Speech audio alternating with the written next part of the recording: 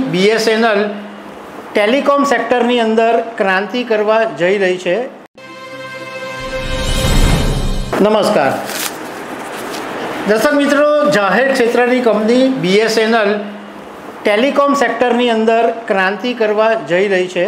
ક્રાંતિ એટલા માટે કે ફોરજીની જે ઘણા સમયથી વાતો ચાલી રહી હતી, એ હવે ગુજરાતની અંદર બીએસએનએલ એકદમ ઝડપથી કામ કરી રહી છે. તો એના વિશે હું તમારી સાથે વાત કરીશ. મારું નામ રાજેશ શાહ છે અને તમે જોઈ રહ્યા છો ખબર છે ડોટ કોમ દર્શક મિત્રો, આમ જોવા જઈએ તો અત્યારે જે બધી ટેલિકોમ કંપનીઓ છે, જાયન્ટ ટેલિકોમ કંપનીઓ, એ ફાઇવ જી સેવા તો ક્યારની શરૂ કરી દીધી છે?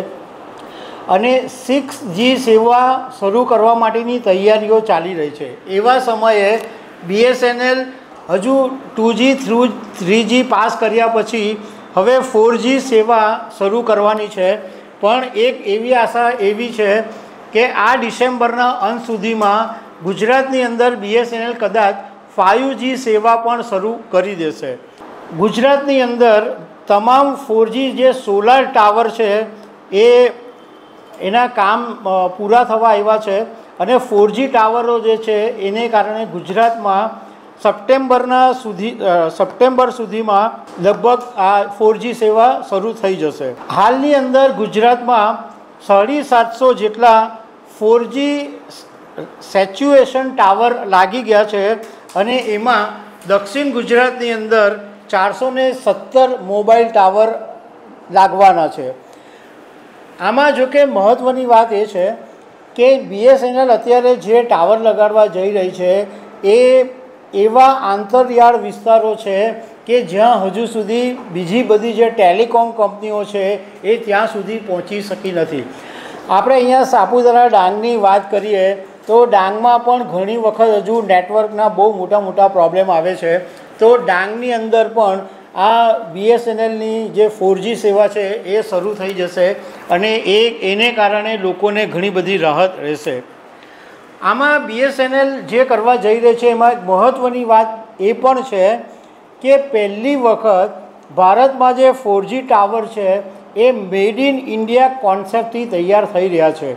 કારણ કે બીએસએનએલે ટાટા કન્સલ્ટન્સી સર્વિસીસ એટલે ટીસીએસ અને તેજસ જેવી કંપનીઓની સાથે હાથ મિલાવ્યા છે અને ટીસીએસ અને તેજસ આ સોલાર ટાવર બનાવી રહ્યા છે. એટલે આ એક સ્વદેશી નવી ટેકનોલોજી છે, પણ આ સ્વદેશની છે. એ પણ એક મહત્ત્વની વાત છે.